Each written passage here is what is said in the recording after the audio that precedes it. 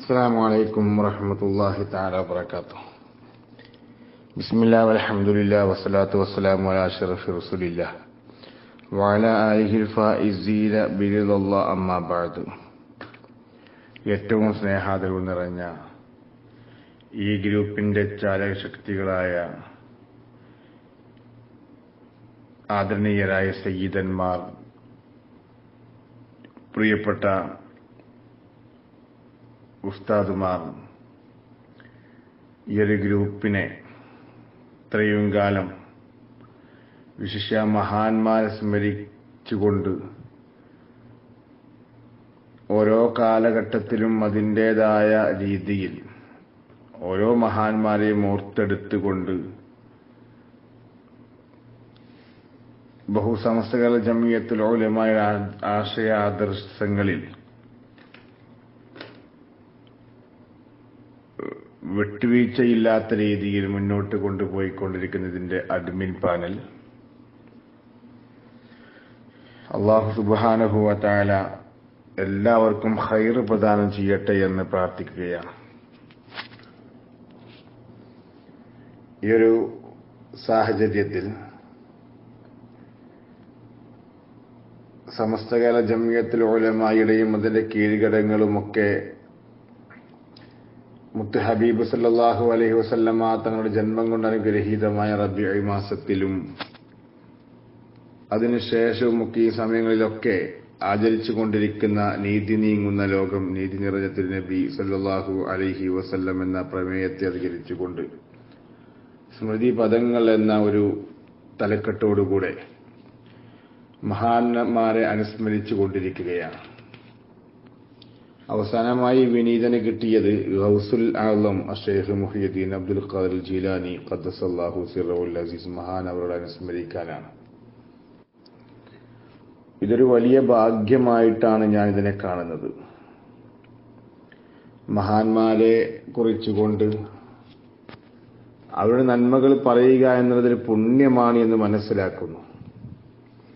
തന്നെയുമല്ല ഇത്രയും നല്ലൊരു ഗ്രൂപ്പിൽ ഒരു അഞ്ച് മിനിറ്റെങ്കിലും നിങ്ങളോട് സംവദിക്കാൻ കഴിയുക എന്നുള്ളതും വലിയ ഭാഗ്യമാണ്. അലഹമുല്ല അള്ളാഹു സ്തുതിക്കുകയാണ്.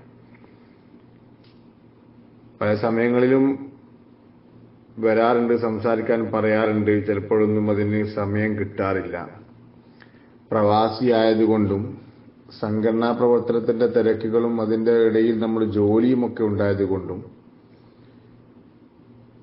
എന്തെങ്കിലുമൊക്കെ നോക്കി പറയണമെന്ന് വിചാരിച്ചാൽ നടക്കാത്തത് കൊണ്ടാണ് പലപ്പോഴും പ്രിയപ്പെട്ട അഡ്മിന്മാർ ബന്ധപ്പെടുമ്പോൾ ഒഴിഞ്ഞു മാറുന്നത്. എന്നാൽ മുഹീദ്ദീൻ ഷെയ്ഖിനെ കുറിച്ച് ജീലാനി അനുസ്മരണം നടത്തണമെന്ന് പറഞ്ഞപ്പോൾ കിട്ടിയ അവസരം നഷ്ടപ്പെടുത്തണ്ടല്ലോ എന്ന് വിചാരിച്ചുകൊണ്ടാണ് രാത്രി എപ്പോഴെങ്കിലും വന്നാൽ മതിയെന്ന് പറഞ്ഞ സൗകര്യത്തോ ഉപയോഗപ്പെടുത്തിക്കൊണ്ടാണ് ഞാനിപ്പോൾ സംസാരിക്കുന്നത്.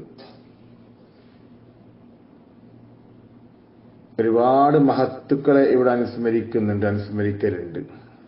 ഒരുപാട് ആളുകൾ ഇപ്പോൾ അനുസ്മരിച്ചു കഴിഞ്ഞു. അബിയുമായി ബന്ധപ്പെട്ടുകൊണ്ട് ഒരുപാട് വിഷയങ്ങൾ ചർച്ച ചെയ്തു. നല്ല മനോഹരമായ വിഷയങ്ങളൊക്കെ പ്രഗത്ഭരായ പണ്ഡിതന്മാർ ഇവിടെ വന്നുകൊണ്ട് അവതരിപ്പിക്കുകയും ചെയ്തു. അതിൽ നിന്നൊക്കെ പാഠം ഉൾക്കൊണ്ടുകൊണ്ട് ജീവിതം മുന്നോട്ട് കൊണ്ടുപോകാൻ അള്ളാഹു നമുക്കൊക്കെ തോഫിയൊക്കെ പ്രദാനം ചെയ്യട്ടെ എന്ന് കൂടെ പ്രാർത്ഥിക്കുകയാണ്. മഹാനായ മുഹീദ്ദീൻ ഷെയ്ഖ് തങ്ങളെക്കുറിച്ച് പറയാൻ തുടങ്ങുമ്പോൾ കൂടുതലായിക്കൊണ്ട് പറയുന്നില്ല വർക്കത്തിന് വേണ്ടി മാത്രമാണ് സംസാരിക്കുന്നത്. ഏതായാലും അദ്ദേഹത്തെ കുറിച്ച് കൊണ്ട് പറയാൻ തുടങ്ങുമ്പോൾ ഞാൻ ആദ്യം തുടങ്ങുന്നത് ഒരു കഥ പറഞ്ഞുകൊണ്ടാണ്. മഹാന്മാരായ നമ്മുടെ മുൻകഴിഞ്ഞു പോയ മഹത്തുകളൊക്കെ പറഞ്ഞ് നമുക്ക് പഠിപ്പിച്ചു തന്ന നമ്മളൊക്കെ എപ്പോഴും കേൾക്കാറുള്ള ഒരു ചരിത്രം. ഇറാന്റെ ഭാഗത്ത് ഒരു ചെറുപ്പക്കാരനുണ്ടായിരുന്നു. അബൂ സ്വാലിഹി എന്നാണ് ആ ചെറുപ്പക്കാരന്റെ പേര്. ആ ചെറുപ്പക്കാരൻ കുളിക്കാൻ വേണ്ടി പുഴ അരികിലേക്ക് പുഴയിലേക്ക് ചെന്നപ്പോ അന്നൊക്കെ പട്ടിണിയാണ്. വിശന്ന് വലഞ്ഞ വയറുമായിട്ടാണ് ആ ചെറുപ്പക്കാരൻ പുഴയിലേക്ക് ചെല്ലുന്നത്. ആ ചെറുപ്പക്കാരൻ പുഴയിൽ കുളിക്കാൻ ഇറങ്ങിയ സമയത്താണ് ആ പുഴയിലൂടെ ഒരു പഴം ഒഴുകി വരുന്നതായിട്ട് കാണുന്നത്. വിശപ്പിന്റെ കാഠിന്യം കൊണ്ട് മറ്റുള്ള കാര്യങ്ങളൊക്കെ മറന്ന് ആ പഴം കണ്ടപ്പോ ആർത്തിയോടെ ആ പഴം ചെന്ന് പിടിച്ച് ആ പഴം കഴിക്കുകയുണ്ടായി. അത്രത്തോളം വിശപ്പുണ്ടായിരുന്നു മഹാനായിരിക്കുന്ന അബൂ സ്വാലിഹ് എന്ന ആ ചെറുപ്പക്കാരൻ. അദ്ദേഹം ആ പഴം കഴിച്ചതിന് ശേഷം വിശപ്പ് തീർന്നപ്പോൾ അദ്ദേഹം ചിന്തിക്കുന്നത് ഇത് ഒരു മഹാപാപമായി പോയല്ലോ. ഞാൻ ചെയ്ത വലിയ തെറ്റാണല്ലോ. ഇനി എന്ത് ചെയ്യും? വലിയ വലിയ ആളുകളൊക്കെ അങ്ങനെയാണ്. ശരീരത്തിന് നിയമം അനുസരിച്ചുകൊണ്ട് ഒരു ചെറിയൊരു പഴം പുഴയിൽ ഒഴിച്ചു പോകുന്നത് അതിന്റെ പിന്നിലാരും തെരഞ്ഞു വരികയില്ല എന്നൊക്കെ മനസ്സിലാക്കുമ്പോൾ അതൊരു വലിയ തെറ്റായിട്ടും കാണാൻ കഴിയില്ല. പക്ഷെ എന്നിരുന്നാലും മഹാന്മാർ അങ്ങനെയായിരുന്നു. തൊലീക്കത്തിന്റെ ഷേഖന്മാർ മഷായഖന്മാരൊക്കെ ചെറിയ ചെറിയ കാര്യങ്ങൾ പോലും വലിയതായി എടുക്കുകയും അതിനെ കൊഴിഞ്ഞു മാറുകയും ചെയ്തിരുന്നു എന്ന് നമുക്ക് മനസ്സിലാക്കാൻ സാധിക്കുന്നുണ്ട്. അങ്ങനെ മഹാനായ അബൂ സ്വാലിഹ് തങ്ങൾ ഈ പഴം കഴിച്ചതിന്റെ പ്രയാസം മനസ്സിനെ വല്ലാതെ അലട്ടുകയും ഈ പഴം എവിടെ നിന്നാണോ വീണത് എങ്കിൽ ആ വീണ പുഴയിലേക്ക് തൂങ്ങിയ ആ പഴം കായ്ക്കുന്ന മരം എവിടെയാണോ അത് കണ്ടെത്തുകയും അതിന്റെ യജമാനെ കണ്ടുകൊണ്ട് മാപ്പ് പൊരുത്തപ്പെടുകയും ചെയ്യണം കാര്യങ്ങൾ പറഞ്ഞ് മനസ്സിലാക്കണം എന്ന് കരുതി. അദ്ദേഹം കുളിക്കാനിറങ്ങി അദ്ദേഹം പുഴയിൽ നിന്ന് കയറി. പുഴയുടെ വക്കിലൂടെ നടന്നുകൊണ്ട് ഏത് മരത്തിൽ നിന്നാണോ ഈ പഴം ചാടിയത് എങ്കിൽ അത് അന്വേഷിച്ചുകൊണ്ട് നടക്കുകയാണ്. ആലോചിച്ച് നോക്കണം നിങ്ങൾ അദ്ദേഹത്തിന്റെ സൂക്ഷ്മത. കിലോമീറ്ററോളം അദ്ദേഹം നടന്ന് നടന്ന് നടന്ന് അവസാനം അദ്ദേഹം കണ്ടു. ഒരു തോട്ടത്തിൽ ഒരുപാട് ആ പഴം കായ്ക്കുന്ന ഒരുപാട് മരങ്ങളുണ്ട്. കുറെ മരങ്ങൾ പുഴയിലേക്ക് തൂങ്ങി നിൽക്കുന്ന മരങ്ങളാണ്. അപ്പൊ അദ്ദേഹം ഉറപ്പിച്ചു ഈ മരത്തിൽ നിന്നാണ് ഇതിലേതെങ്കിലും ഒരു മരത്തിൽ നിന്ന് ചാടിയ പഴമാണിത്. ഇതിന്റെ യജമാനെ കണ്ടുകൊണ്ട് പൊരുത്തപ്പെടിക്കാൻ മാപ്പ് പറയാം.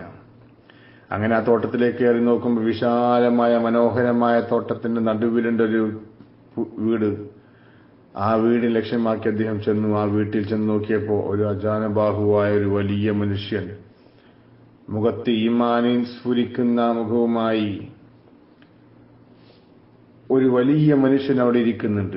അദ്ദേഹത്തോട് പറഞ്ഞു നിങ്ങളുടെ ഈ മരത്തിൽ നിന്ന് പുഴയിലേക്ക് തൂങ്ങിയ മരങ്ങളിൽ നിന്ന് ചാടിയ ഏതോ ഒരു പഴം ഏതോ ഒരു മരത്തിൽ ചാടിയ ഒരു പഴം അത് ഞാൻ കുളിക്കാൻ ഇറങ്ങിയപ്പോൾ എന്റെ അടുത്തിലൂടെ വരികയും ഞാനത് എടുത്തുകൊണ്ട് ഭക്ഷിക്കുകയും ചെയ്തു കഴിച്ചു പോയിട്ടുണ്ട്. അപ്പോ അത് നിങ്ങൾ എനിക്ക് പൊരുത്തപ്പെട്ട് തരണം എന്ന് പറയാൻ അത് ഹലാലായി മാറാനുള്ള ഒരു പഴുത് ഒരു വഴി കണ്ടെത്താൻ ആ മനുഷ്യനോട് പ്രിയപ്പെട്ട അബൂസാലിഹി കേണ അപേക്ഷിക്കുകയാണ്.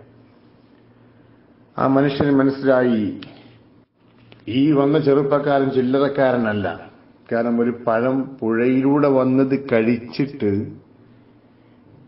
അതിന്റെ ആ ഗൗരവം മനസ്സിലാക്കി അതുപോലും പൊരുത്തപ്പെടിക്കാൻ വേണ്ടി എന്റെ എന്നെ തെരഞ്ഞുകൊണ്ട് ഇത്രയും കിലോമീറ്റർ വന്നുകൊണ്ട് എന്നോട് സംസാരിക്കുന്നുവെങ്കിൽ ഒരു നല്ല കുട്ടിയാണ് നല്ല ചെറുപ്പക്കാരനാണ്. അള്ളാഹു സൂക്ഷിക്കുന്ന ചെറുപ്പക്കാരനാണെന്ന് മനസ്സിലായി. അദ്ദേഹം പറഞ്ഞു ഞാൻ പൊരുത്തപ്പെട്ട് തരാം. പക്ഷേ അതിന് ചില നിബന്ധനകളുണ്ട്. ആ നിബന്ധനകൾ പാലിച്ചാൽ ഞാൻ നിങ്ങൾക്ക് പൊരുത്തപ്പെട്ട് തരും. എന്താണ് നിബന്ധനകൾ ആ മനുഷ്യൻ ചുരുക്കി പറയണം. ആ മനുഷ്യൻ പറഞ്ഞു എനിക്കൊരു പെൺകുട്ടിയുണ്ട് ഒരു മകളുണ്ട്. ആ മകളെ നീ വിവാഹം കഴിക്കണം. അബൂ സാലിഹ് ഹന്തം വിട്ടു എന്ത് മകളെ വിവാഹം കഴിക്കേ. പക്ഷെ അദ്ദേഹം ആലോചിച്ചു പഴം കഴിച്ചത് അദ്ദേഹത്തിന്റെ പൊരുത്തത്തിലാവണ്ടേ? അപ്പൊ ഇനി മകളെ കഴിക്ക കല്യാണം കഴിക്കാച്ച അങ്ങനെ ആവട്ടെ അല്ല എന്താ ചെയ്യാ? നിവൃത്തികേട് കൊണ്ട് അദ്ദേഹം സമ്മതിച്ചു. അപ്പോഴും ഈ മഹാൻ ഈ മനുഷ്യൻ പറഞ്ഞു ആ തോട്ടത്തിന്റെ മുതലാളി അദ്ദേഹത്തിന്റെ പേര് അബ്ദുല്ലായി സൗമായി എന്നാണ്. അബ്ദുല്ലായി സൗമായി എന്ന മനുഷ്യൻ പറഞ്ഞു എന്റെ മകൾക്ക് കണ്ണ് രണ്ടും കാണുകയില്ല. എന്റെ മകൾക്ക് രണ്ട് ചെവിയും കേൾക്കുകയില്ല. എന്റെ മകൾ രണ്ട് കൈയില്ല. എന്റെ മകൾക്ക് രണ്ട് കാലില്ല. ഇങ്ങനെയുള്ള എന്റെ മകളെയാണ് താങ്കൾ വിവാഹം കഴിക്കേണ്ടത്. നിങ്ങൾ ആലോചിച്ച് നോക്കുക അതിന്റെ അവസ്ഥ. പക്ഷേ മഹാനായ അബൂ സ്വാലിഹിന് മകൾ എങ്ങനെയാണ് എന്നുള്ളതല്ല പ്രശ്നം. അദ്ദേഹം കഴിച്ച പഴം പൊരുത്തപ്പെടിച്ചുകൊണ്ട് അദ്ദേഹത്തിന് തൃപ്തി നേടുക എന്നുള്ളതാണ്. അപ്പൊ അദ്ദേഹം പറഞ്ഞു അത് കുഴപ്പമില്ല ഞാൻ വിവാഹം കഴിക്കാം എനിക്ക് ഞാൻ കഴിച്ച പഴം ഹലാലായി എന്റെ ഹലാലായ ഭക്ഷണമായി മാറണം. അത് നിങ്ങൾ പൊരുത്തപ്പെട്ട് തരണം. അത് ഞാൻ എന്ത് ത്യാഗം ചെയ്യും. അങ്ങനെ ചുരുക്കി പറഞ്ഞാൽ അദ്ദേഹം അതിന് സമ്മതിക്കുകയും അദ്ദേഹത്തിന്റെ മകളെ മുമ്പിലേക്ക് കൊണ്ടുവരികയും ചെയ്തപ്പോ അബൂ സ്വാലി ഹന്തം വിട്ടു.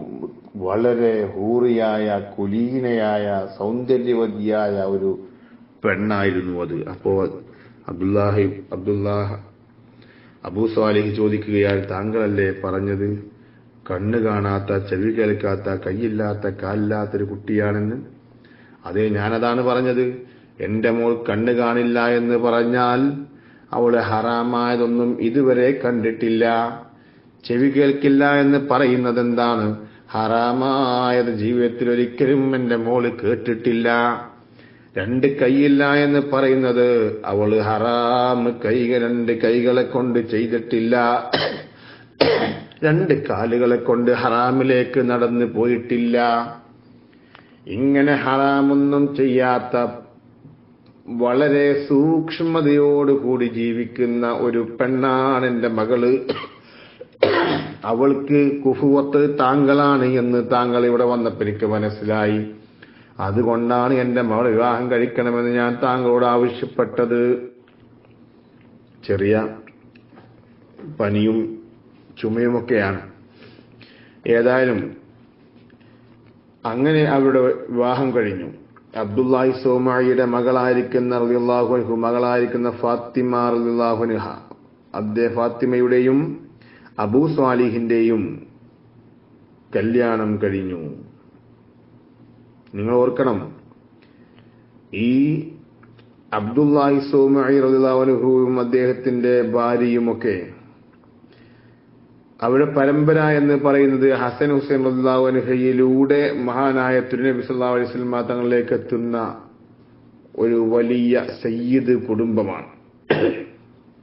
അത്രയും നല്ല കുടുംബത്തിലെ അത്രയും നല്ലൊരു സഹോദരിയെ ആണ് അബൂ സാലിഹ് തങ്ങൾക്ക് വിവാഹം കഴിച്ചു കൊടുത്തത്.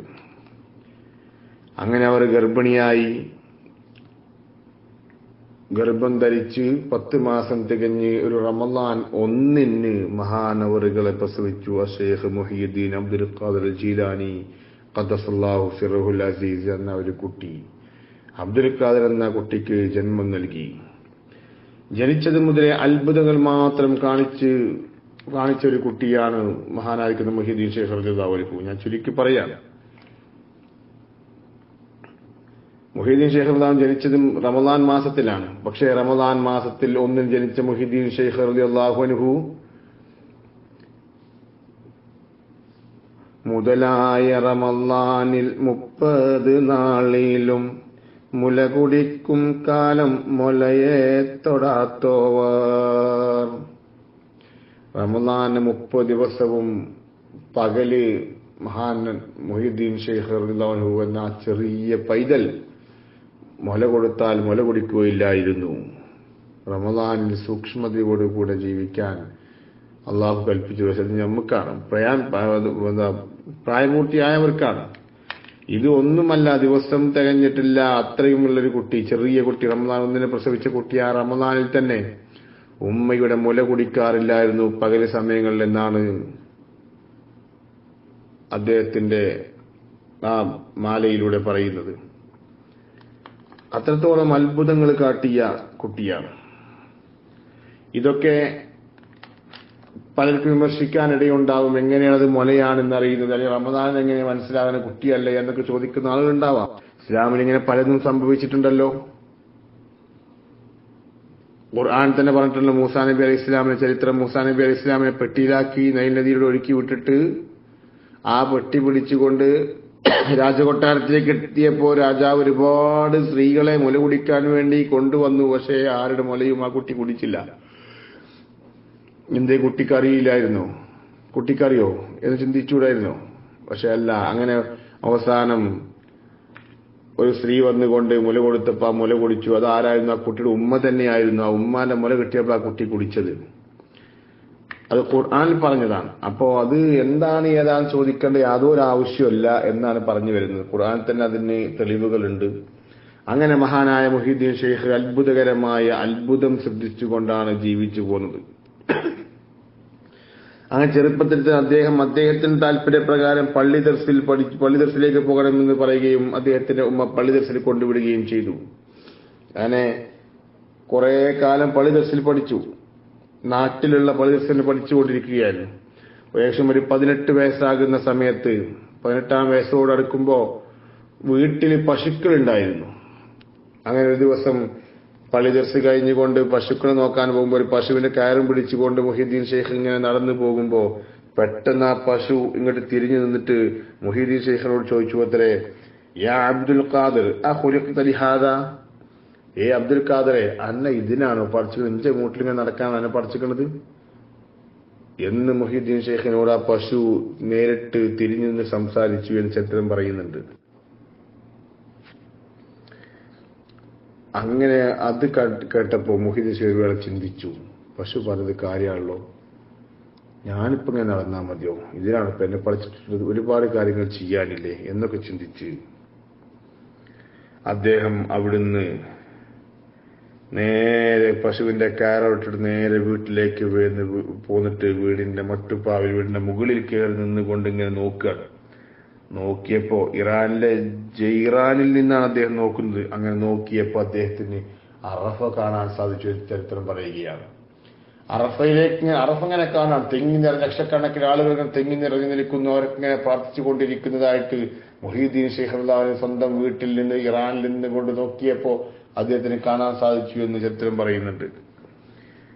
ഏറും മറഫാന്നാൾ പശുവെ പായിച്ചാരെ ഇതിന്നോ പടച്ചെന്ന് പശുവെന്ന് പറഞ്ഞോവർ.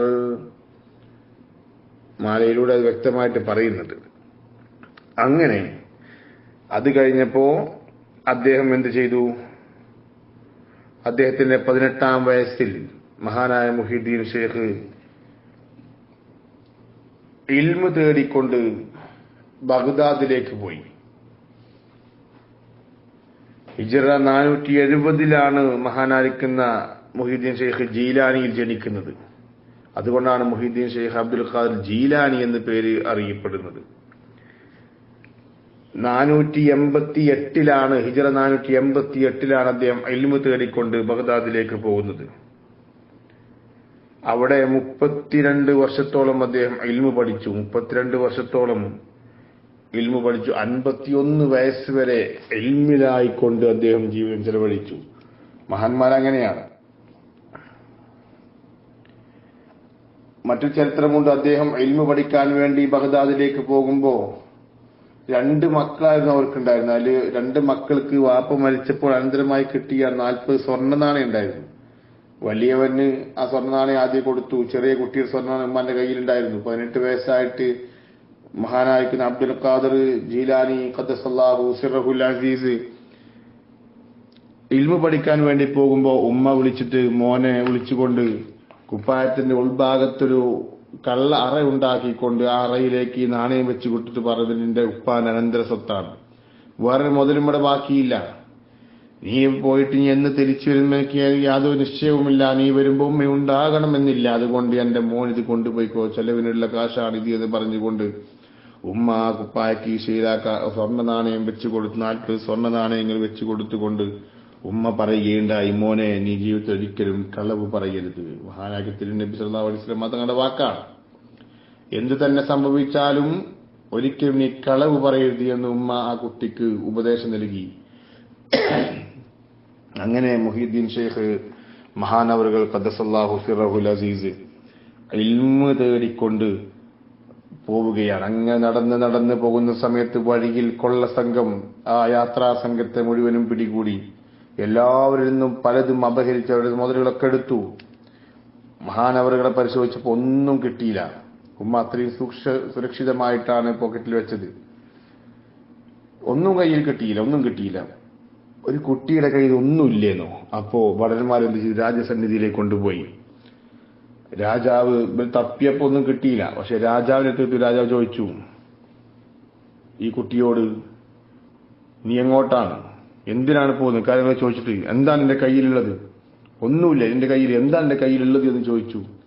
എന്തെങ്കിലുമൊക്കെ പറയാമായിരുന്നു. പക്ഷെ ഉമ്മ പറഞ്ഞിട്ടുണ്ട് ഒരിക്കലും കളവ് പറയരുത് എന്ന്. മഹാൻ പറഞ്ഞു എന്റെ കയ്യിൽ നാൽപ്പത് സ്വർണ നാണയങ്ങളുണ്ട്. എന്റെ ഉമ്മ എനിക്ക് തന്നു വിട്ടതാണ്. എന്റെ ഉള്ളിലെ പോക്കറ്റിൽ ആ സ്വർണ നാണയങ്ങളുണ്ട് എന്ന് പറഞ്ഞപ്പോ രാജാവ് അത്ഭുതപ്പെട്ടു. പരിശോധിച്ച് നോക്കിയപ്പോൾ നാൽപ്പത് സ്വർണ നാണയങ്ങൾ. പരിശോധിച്ചപ്പോ കിട്ടാത്ത ഇനിയൊരു പ്രയാസം ഉണ്ടാവാത്ത രീതിയിൽ രാജാവിനോടും ഇല്ല എന്ന് പറഞ്ഞാൽ രക്ഷപ്പെടുന്ന ഒരു അവസരമുണ്ടായിട്ട് പോലും സത്യസന്ധനായിക്കൊണ്ട് എന്റെ കയ്യിൽ നാൽപ്പത് സ്വർണ നാണയമുണ്ട് എന്ന കൊള്ള സംഘത്തിന്റെ നേതാവിന്റെ മുമ്പിൽ ആർജവത്തോടെ ഉമ്മ പറഞ്ഞ വാക്കനുസരിച്ചുകൊണ്ട് അദ്ദേഹം കളവ് പറയാതെ സത്യം പറഞ്ഞു. രാജാവിന് അത്ഭുതമായി. രാജാവ് ഒരു വേള ചിന്തിച്ചു പോയി. എങ്ങനെയായാലും രക്ഷപ്പെടാമായിരുന്ന സാഹചര്യത്തിൽ പോലും കളവ് പറയാതെ സത്യം പറഞ്ഞു എന്ന കാരണം കൊണ്ട് ഈ കുട്ടിയുടെ സ്വഭാവത്തിന് കാരണമായി ആ രാജാവ് ചുരുക്കി പല രാജാവും സംഘവും ഇസ്ലാമിലേക്ക് വന്നു. അവർ കൊള്ള സംഘമൊക്കെ നിർത്തി എന്നുള്ളതാണ് പിന്നീട് ചരിത്രത്തിൽ മനസ്സിലാകുന്നത്. അത്രത്തോളം അത്ഭുതങ്ങൾ സൃഷ്ടിച്ച ജീവിതമായിരുന്നു മഹാനവറുകളുടേത്. മഹാനവറുകൾ അഞ്ഞൂറ്റി അറുപത്തി ഒന്നിലാണ് ഈ ലോകത്തോട് ഇവിടെ പറയുന്നത്. ഔലിയാക്കളുടെ നേതാവായിരുന്നു മഹാനവറുകൾ. ഔലിയാക്കളുടെ നേതാവാണ്. മഹാനവറുകൾ മരണ മരണാസന്നമാകുന്ന സമയത്ത് മരണത്തിന്റെ മുമ്പ് ആയിക്കൊണ്ട് നരകത്തെ കാക്കുന്ന മലക്കിനോട് സംസാരിച്ചു. അപ്പൊ നരകത്തെ കാക്കുന്ന മലക്ക് പറഞ്ഞു മഹാനവനോട് നിങ്ങളുടെ മുരീദുകൾ ആരും നരകത്തിൽ ഉണ്ടാകൂല എന്ന്. നിന്റെ മുരീദാരും നരകത്തിലില്ലെന്ന് നരകത്തെ കാക്കും മലക്കെന്ന് പറഞ്ഞോവർ. ഒരുപാട് അത്ഭുതങ്ങളുണ്ട്. നമുക്കറിയാം കോഴിയുടെ മുള്ളോട് കൂവന്ന് ചൊന്നാരെ കൂവാതെ കൂക്കി കൂശാതെ കൂക്കി പറപ്പിച്ച് വിട്ടോവർ. ഇങ്ങനെ പല പല അത്ഭുതങ്ങളും കാണിച്ച മഹാനാണ്. ഏതായാലും കൂടുതലായിക്കൊണ്ട് പറയുന്നില്ല. ഈ ഒരു അവസരത്തിൽ ബർക്കത്തിന് വേണ്ടി കുറച്ച് കാര്യങ്ങൾ സൂചിപ്പിച്ചു എന്ന് മാത്രം അള്ളാഹു സുബാനുഭവത്തായ മഹാന്മാരുടെ താഴത്തിലായിക്കൊണ്ട് ജീവിക്കാൻ അള്ളാഹു നമുക്ക് എല്ലാ സാഹചര്യങ്ങളും ഒരുക്കി തരട്ടെ എന്ന് പറയുകയാണ്. ഈ ഒരു പ്രത്യേക സാഹചര്യത്തിൽ അതവ് നഷ്ടപ്പെട്ടുകൊണ്ടിരിക്കുന്ന ഈ വർത്തമാനകാല സാഹചര്യത്തിൽ നീതി നീങ്ങുന്ന ലോകം നീതി നിറഞ്ഞ തിരുനബി എന്ന പ്രമേയത്തിൽ ഊന്നിക്കൊണ്ടാണ് നമ്മൾ ഈ ക്യാമ്പയിനൊക്കെ ആചരിക്കുന്നത് എന്തുകൊണ്ട് എന്നതുകൊണ്ട് തന്നെ. എന്റെ ശബ്ദം കേൾക്കുന്ന പ്രിയപ്പെട്ടവരോട് പറയാനുള്ളത് ഇത്തരം മഹാന്മാർ കാണിച്ചു തന്ന ഇവിടെ അനുസ്മരിച്ച മറ്റു മഹാന്മാര് കാണിച്ചു തന്ന ഈ ഗ്രൂപ്പിൽ ഓരോ സമയത്തും സമസ്ത ഗർജമയത്തിലുടമക്ക് ബീജാഭാവം നൽകിക്കൊണ്ട് ജീവനും വളമയും നൽകിക്കൊണ്ട് ഈ ഒരു നിലയിലേക്ക് ഇസ്സത്തോടെ ഈ പ്രസ്ഥാനത്തെ പടുത്തുയർത്തിയ മഹാരഥന്മാർ കാണിച്ചു തന്നൊരു പാതയുണ്ട്. ആ പാതയിലൂടെ ജീവിക്കാൻ നമ്മൾ തയ്യാറാവണം. ആ പണ്ഡിത കുല- കുലപതികളെ അനുസരിക്കാൻ നമ്മൾ തയ്യാറാവണം.